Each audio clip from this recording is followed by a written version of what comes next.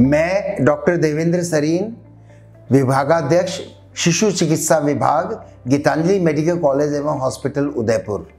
हाल ही में Geetanjali medical college ने विश्व स्तनपान सप्ताह को बहुत ही उत्साह के साथ ज़ोर शोर से मनाया है। हर वर्ष की भांति इस वर्ष भी एक से सात अगस्त 2022 को हमने यह सप्ताह मनाया। इसमें हमारी नवजात शिशु इकाई के प्रभारी डॉक्टर सुशील गुप्ता ने मेरे से पूर्ण सहयोग दिया एवं हमारे विभाग की सभी फैकल्टी एवं रेजिडेंट्स एवं नर्सिंग स्टाफ ने सहयोग दिया।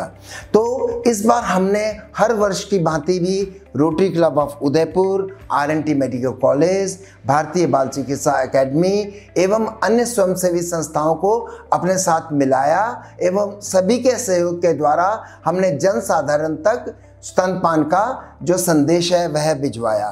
तो जन साधारण के लिए इस वर्ष स्तनपान का जो संदेश था, वह था step up breast feeding state up for the breast feeding educate and support माने कि हम सभी मिलकर स्तनपान को बढ़ावा देंगे सभी के सहयोग के द्वारा। और हमने आपको ये जब बताते हुए मुझे हर्ष है कि एक अगस्त से पहले ही उसकी पूर्व संध्या पर गीतांजलि मेडिकल कॉलेज ने एक, यहाँ पर हमने एक पोस्टर का विमोचन किया।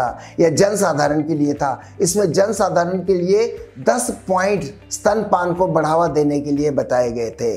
और एक तारीख को सुबह सभी पेपर्स में यह जो था, एक पोस्टर को हमने एक पैम्पलेट्स की तरह इसको बांटा जो घर घर में यह गया और इसमें जनोपयोगी हमने जानकारी दी।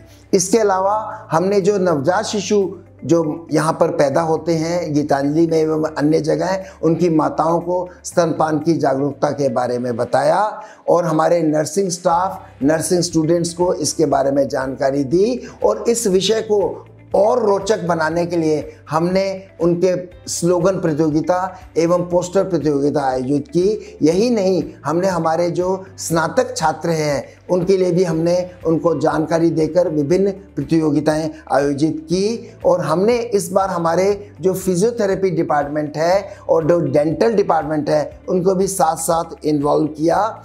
इस आयोजन में गीतांजलि मेडिकल कॉलेज के ऑब्स्टेटिक्स एंड गायनी डिपार्टमेंट ने हमें भरपूर सहयोग दिया। और आखिरी दिनों में हमने हमारी जो कच्ची बस्ती के भाई बहन हैं, जो इस बारे में अनभिज्ञ हैं, उनको भी हमने स्तनपान की महत्ता के बारे में बताया और उनकी हमने एक प्रतियोगिता आयोजित की, उनके विजेताओं को हमने पुरस्कृत किया। हम आशा करते हैं इसी लगन के साथ इसी विश्वास के साथ भविष्य में भी हम पूरे वर्ष भर स्तनपान का जो हमारा यह आयोजन है, जो हमारा यह आंदोलन है, इसकी जागरूकता का जो शिविर है, इसको हम आगे बढ़ाते जाएँगे सभी के सहयोग के द्वारा।